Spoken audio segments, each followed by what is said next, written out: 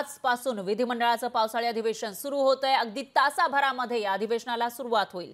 माहिती सरकारचं शेवटचं अधिवेशन आहे कारण काही महिन्यातच विधानसभेच्या निवडणुका आहेत आणि या निवडणुकीमध्ये नेमकं कोण सत्तेवर येणार हा प्रश्न आहे. त्यामुळं महायुती सरकारचं हे शेवटचं अधिवेशन आहे. तर कायदा सुव्यवस्थेसह शेतकऱ्यांच्या प्रश्नावर विरोधक सरकारला घेरण्याच्या तयारीत आहेत आणि अधिवेशनामध्ये चौदा विधेयकं मांडली जाणार आहेत. त्याचबरोबर लोकशाही मराठीचा मुद्दा विधिमंडळामध्ये गाजणार आहे. दुधाच्या देशात देशातल्या सर्वात कमी दराच्या खरेदीचं वास्तव लोकशाही मराठीनं मांडलेलं होतं. आणि त्यामुळं आता सरकारला दूध पोळणार का ते बघावं लागणार आहे कारण इतर राज्यांमध्ये दुधाला शेतकऱ्यांना चांगला दर मिळतो. मात्र महाराष्ट्रामध्ये आपण बघितलं तर शेतकऱ्यांना दूध उत्पादकांना अतिशय सगळ्यात कमी दर मिळतात आणि हाच मुद्दा लोकशाही मराठीनं मांडलेला होता. हा मुद्दा आता अधिवेशनामध्ये गाचणार आहे. लोकशाही मराठीनं जो मुद्दा या ठिकाणी मांडलेला होता लोकांच्या समस्या मांडलेल्या होत्या त्याच्यामध्ये जे दूध उत्पादक शेतकरी असतील किंवा सामान्य लोक ज्यांना जास्त किमतीनं दूध विकत घ्यावं लागतंय या सगळ्या समस्या लोकशाही मराठीनं मांडलेल्या होत्या आणि त्याची दखल आता सरकारकडून घेतली जाय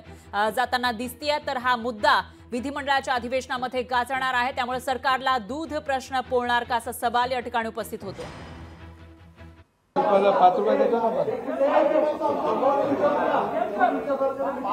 त्याबद्दलचं उत्तर मी सभागृहात देईन. काळजी करू नका.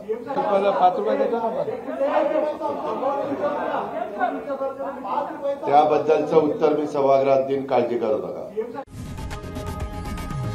लोकशाही मराठी. ऐका पहा जागरूक रहा.